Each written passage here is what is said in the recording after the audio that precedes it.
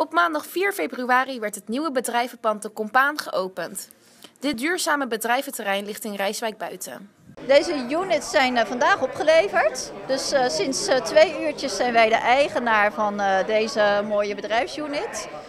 Um, ja, heel duurzame bedrijfsunit waarin wij deels onze kantooractiviteiten uit kunnen gaan voeren en deels een stukje opslag hebben voor de producten die we verkopen.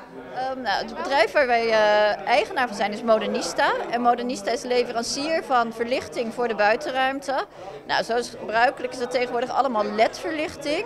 Maar onze LED-verlichting is daarbij bijzonder omdat het volledig in Europa gemaakt wordt. Dat vinden we heel belangrijk vanwege de, het toezicht op het productieproces en de toepassing van materialen. En daarbij is onze productie, producten nog steeds circulair. En waarom heeft u dan gekozen voor Rijswijk? Omdat we op zoek waren naar een, uh, een duurzaam uh, bedrijfskantoor. En ehm, deze units zijn gasloos, dus geen gasaansluiting. En uh, voorzien van zonnepanelen. En dat waren voor ons belangrijke uh, punten. Ik denk ook wat een heel duurzaam aspect is, is dat het heel vaak gaat om lokaal ondernemerschap en het type bedrijfsunits die hier nu staan. En waarom moeten de mensen voor Rijswijk buiten kiezen?